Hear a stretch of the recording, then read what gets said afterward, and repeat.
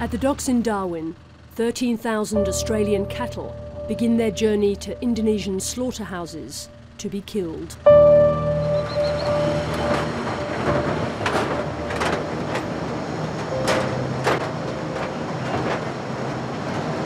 With little commotion, they're moved up ramps onto the massive cattle ship, the Ocean Drover.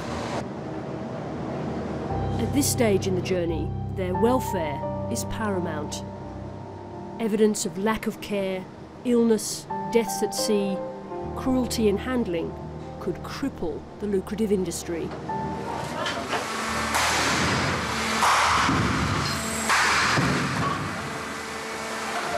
Some of the cattle shipped to Indonesia will die humanely, stunned before slaughter in conditions similar to those in Australia.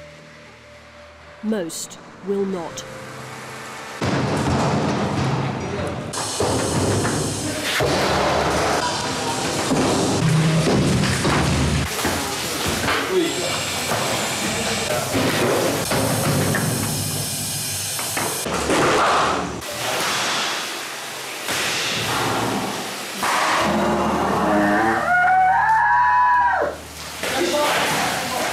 These are the pictures the cattle industry doesn't want you to see.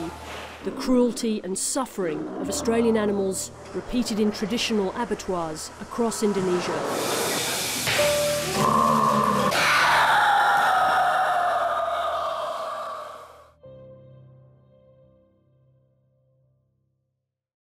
Available now on video on demand.